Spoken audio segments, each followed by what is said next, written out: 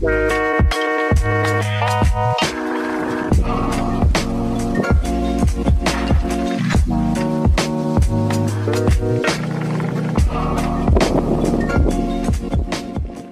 dragilor! Ce mai faceți? Sper că sunteți bine. Mi-am dat seama că n-am mai filmat de ceva timp un clip din asta în care să stau jos să vorbesc aici cu voi. A, pentru că ultimele clipuri au fost filmate mai de mult și uh, am avut daily vloguri pe care sper că le-ați văzut și că v-au plăcut. A, și a venit toamna, după cum se vede că m-am reîntors la una din broșele mele preferate, by the way, asta cu păianjenul uh, auriu, este una din broșele mele preferate, eu nefiind iubitoare de păienjen, dar nu știu de ce broșul asta îmi place foarte tare, știu că este disprețuită la propriu de foarte multe persoane, dar asta e alt subiect pentru altă zi. Ce vroiam eu să vă zic, înainte de a intra în favoritele lunii august, care luna august s-a încheiat, a fost uh, interesantă, zic eu, uh, dar am senzația că toamna ne-a furat așa ultimele zile de vară.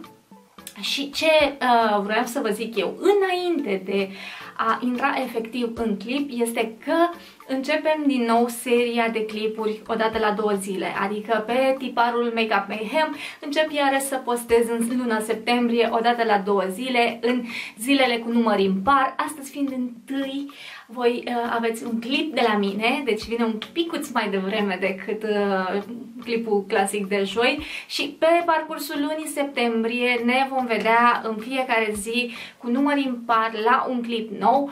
Uh, De-aia v-aș ruga, dacă n-ați făcut-o încă, să vă abonați, să apăsați acolo pe clonțopelul ăla de notificări ca să vă spună când vin clipurile, pentru că YouTube-ul este într-un hal de nu vă puteți imagina și ar fi bine să aveți notificările active activate și eventual să mă urmăriți și pe Instagram, că acolo vă țin la curent întotdeauna cu clipurile, ce se întâmplă cu ele când vin, dacă întârzie, ce clipuri postez și așa mai departe.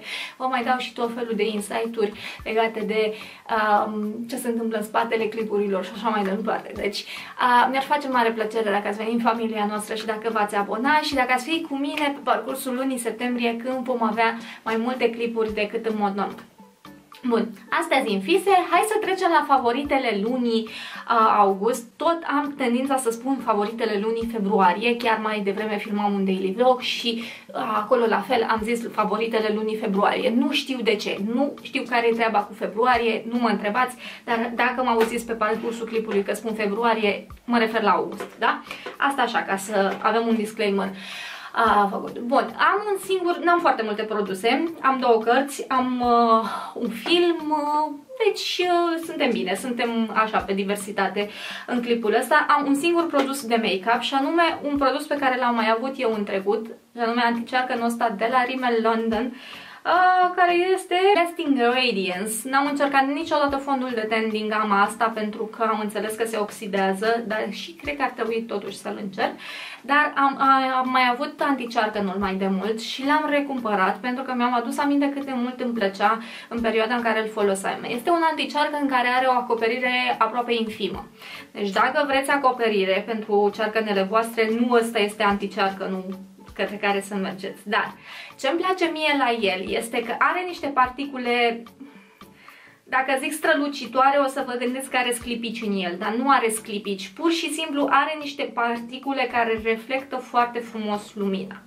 Și ce îmi place la el este să-l folosesc după ce pun anticearcănul pe care îl folosesc în mod normal, fie că e ăla de la Catrice, fie că este unul de la Oriflame pe care mi l-am cumpărat acum, fie că este alt anticearcăn de la Maybelline, whatever, a, îl aplic strict aici, fix în zona asta, unde de regulă eu am așa niște adâncituri, știți, de la ceargăne. Câteodată pe cameră să văd mai intens decât ar trebui, pentru că pe cameră de multe ori umbrele sunt accentuate. Și uh, le, îl aplic numai aici, în adânciturile astea și în partea internă a ochilor și face o diferență colosală în luminozitatea pe care o are fața mea și ochii mei, au o luminozitate mult mai puternică și se văd mai bine, nu știu, și îmi place foarte tare. Și mi-am dat seama că este datorită acestui anticearcă în care este de altfel uh, foarte nebăgat în seamă, foarte discreditat de multă lume pentru că nu este neapărat cel mai bun din punct de vedere al acoperirii. Uh, l-am folosit de asemenea în zilele în care nu m-am machiat, îl folosesc tot așa doar pe partea asta de cearcăne ca să le ilumineze puțin.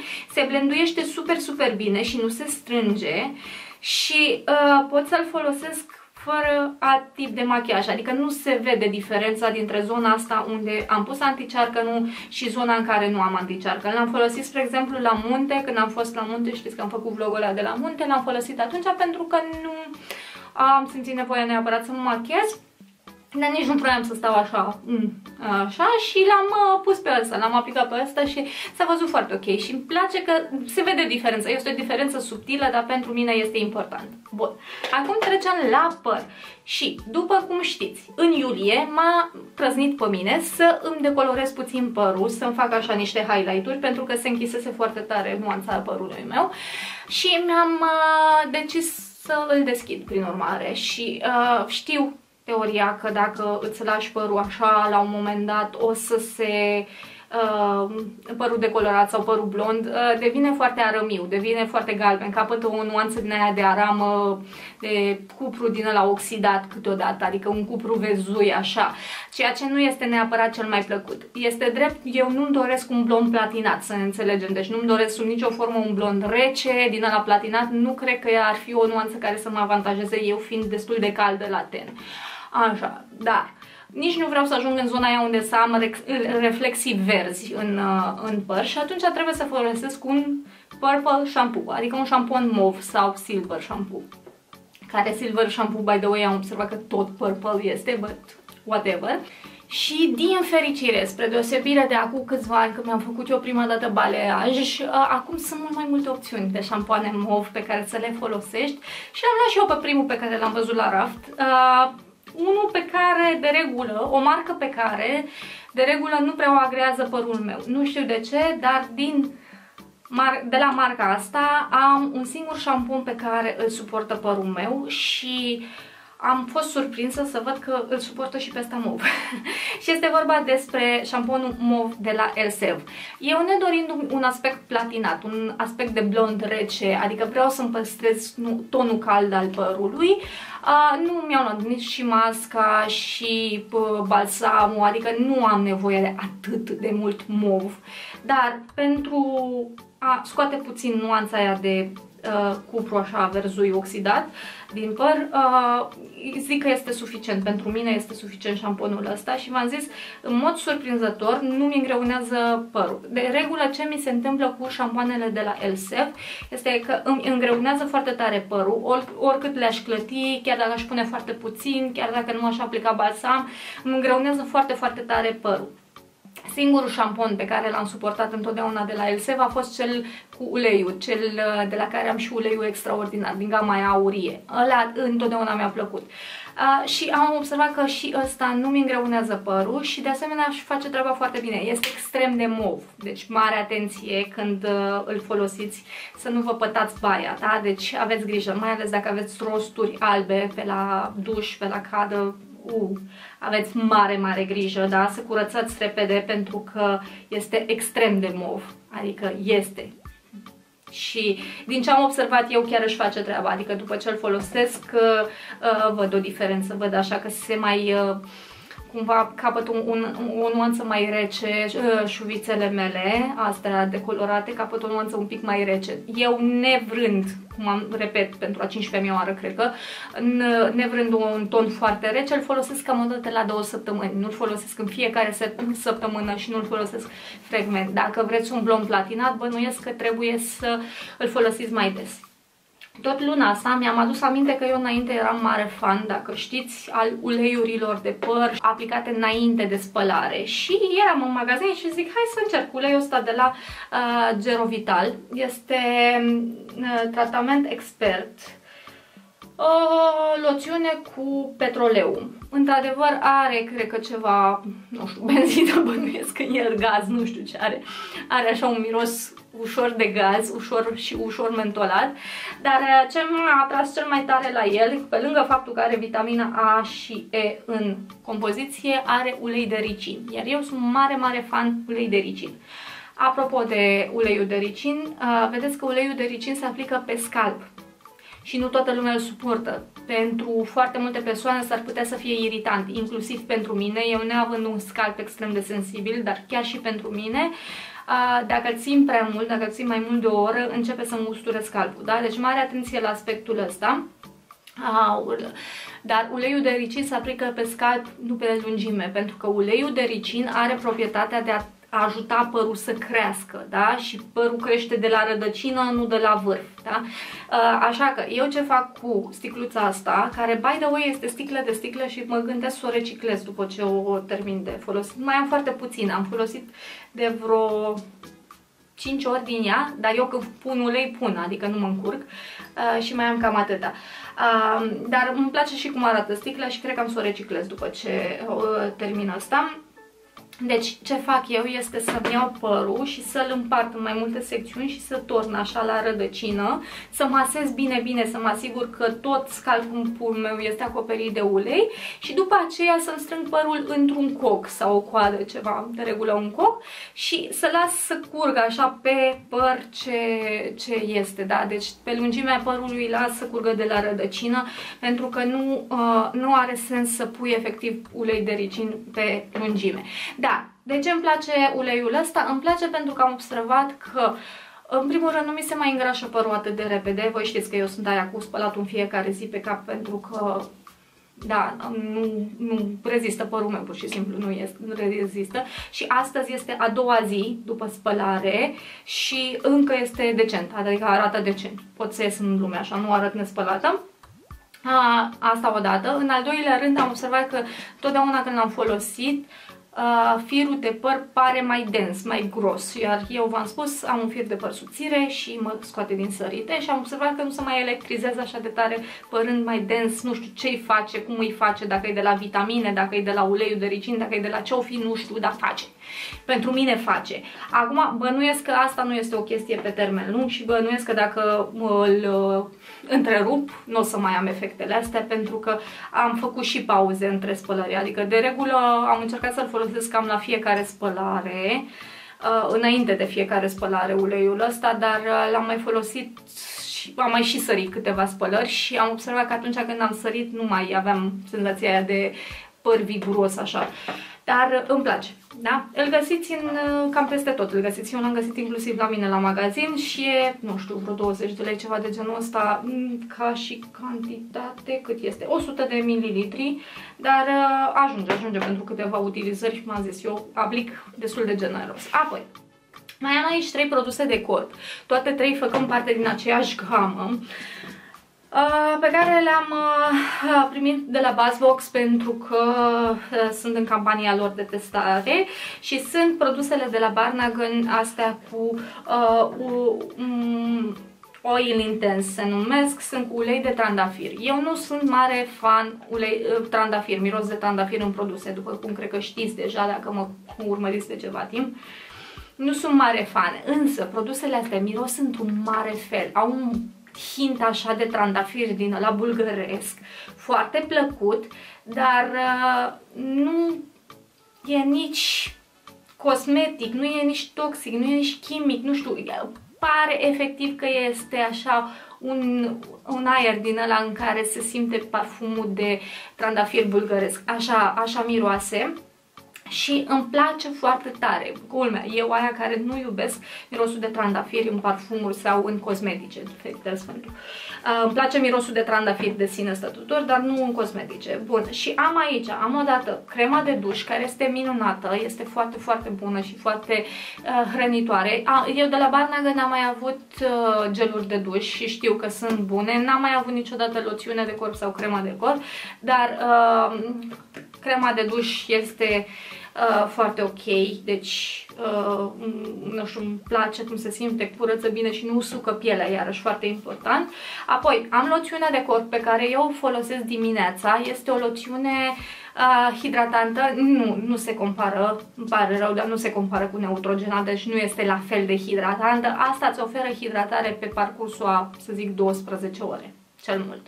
Da, deci nu este la modul ăla de hidratantă cum este Neutrogena, că cu Neutrogena te poți da o dată la două zile sau chiar la trei zile dacă ai un, o piele mai uh, normală, da? Dacă și eu care am pielea uscată pot să mă dau și la două zile cu Neutrogena și tot îmi simt pielea hidratată. Nu, deci cu asta, dacă v-am dat dimineața, seara după baie sau după duș, trebuie să-mi dau iară cu loțiune sau cu cremă, pentru că nu. Dar îmi place mirosul și are un miros, așa v-am zis, plăcut, care rămâne cumva pe piele și uh, se simte foarte fresh. Uh, și de aia îmi place mult, mult, mult. Chiar m-a surprins cât de mult îmi place și am și untul de corp pe care eu îl folosesc seara. Mmm, iam. Și asta, uh, asta este un unt de corp foarte dens, deci arată exact ca o frișcă din aia foarte, foarte groasă, foarte densă. Uh, la fel, cu același miros fiind din gama asta foarte uh, plăcut. Singura uh, chestie ciudată pe care am observat-o eu la aceste produse este că uh, a, la, și la loțiune și la untul de corp este că ai nevoie de foarte puțin. Deci ai nevoie de o cantitate foarte, foarte mică. Prima dată aveam impresia că intră greu în piele, ceea ce s-ar putea să fie adevărat, dar a, nu neapărat că intră greu în piele, ci că se întinde foarte mult așa pe, nu știu cum să vă explic, dar e o chestie foarte ciudată.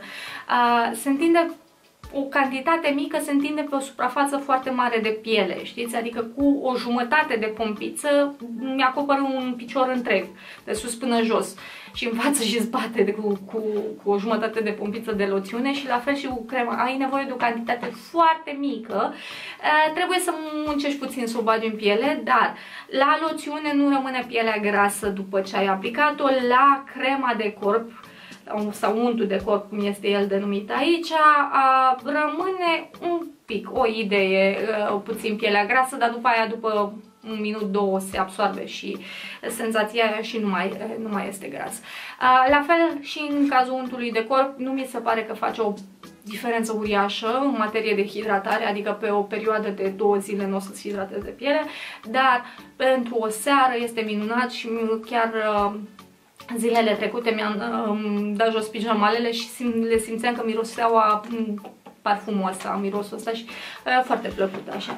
Deci, da, sunt ok din punctul meu de vedere. Bun, am terminat cu partea de beauty, v-am zis că nu am multe. Am două cărți despre care să vă vorbesc și un film. Și prima carte este una pe care mă așteptam să o iubesc, dar nu mă așteptam să o iubesc așa tare și nu mă așteptam să mă lovească mai ales atât de tare, pentru că este o carte care uh, atinge într-un fel uh, povestea sau tema depresiei și o să fac un clip cu cărțile pe care le-am citit și o să vă povestesc acolo mai multe despre ea. Este vorba despre Biblioteca de la miezul nopții. Uh, e o carte pe care, din punctul meu de vedere, eu o văd puțin altfel decât am văzut-o în recenzii la alte persoane. Adică eu m-am identificat foarte mult cu uh, sentimentele alea depresive care au fost în uh, carte, cel puțin la început și uh, m-a atins în alt punct decât pe alții. Este o lectură relativ ușoară din punctul meu de vedere, dar plăcută. Mi-a plăcut cartea asta, v-am zis o să vin cu o recenzie mai completă cât de curând săptămâna asta, în septembrie în orice caz vin și vă povestesc mai pe larg, nu vreau să vă dau toate detaliile acum. Mi-a plăcut. Este o lectură ușoară, din punctul meu de vedere nu e ceva care să-ți dea uh, universul peste cap, dar în egală măsură am găsit și câteva concepte filozofice, dacă vreți să ziceți, ea în aparență fiind o carte foarte superficială, dar dacă stai puțin și ai un pic de răbdare cu ea, găsești niște concepte filozofice destul de interesante și o să vorbim atunci când fac review despre toate astea. Dar, uh, da, mi-a plăcut, v-am zis, -am, uh, chiar m-a surprins uh, că mi-a plăcut atât de mult. A doua carte pe care mi-ați recomandat-o în disperare și acum am înțeles de ce, pentru că am terminat-o în 3 zile. În cazul în care nu știți, eu sunt o cititoare extrem de lentă. Citesc foarte greu, dar am terminat cartea asta în 3 zile. A treia zi am citit aproape toată ziua pentru că n-am putut să o las din mână și nu am vrut să o las din mână. Zic, vreau să o termin, vreau să văd ce naiba se întâmplă, vreau să văd ce Dumnezeu, pentru că uh, atât a fost de recomandată de voi cartea asta, peste tot îmi spuneați de ea, peste tot, peste tot îmi spuneați de ea și zic, ok, deci trebuie să o iau. Mi-a dat-o într-un final, mi-a dat-o Eugenia și um, am uh, descoperit că mi-a plăcut și mie la fel de mult cum v-a plăcut și vouă, mai ales pentru că m-a surprins finalul. Cine Mm, a citit cartea știe la ce mă refer. Eu la finalul ăla, bănuiesc că n-am fost atentă, eram atât de setată să termin cartea asta cât mai repede ca să vă spun părerea mea, ca să încetați cu recomandările, încât uh, cred că n-am fost atentă la început și m-aș fi putut prinde de ceva de la început, dar n-am fost atentă și m-a surprins foarte tare finalul și asta mi-a plăcut, adică m-a bucurat. Chiar dacă uh, mă oftic puțin ca și putut să fiu puțin mai atentă, să fiu puțin mai... Um, să observ mai bine ce se întâmplă acolo, dar nu-i problemă. E vorba de pacienta tăcută, că nici nu v-am zis. da, e vorba de pacienta tăcută. Uh, Alex, Alex Michaelidis, uh, foarte bună cartea și asta mi se pare o carte relativ ușoară, dar interesantă, interesantă. E un pic altfel, adică față de cărțile pe care le-am citit eu în ultima vreme este puțin altfel și a fost bine să mm, iau așa o, o gură de aer proaspăt din altă sferă de cărți.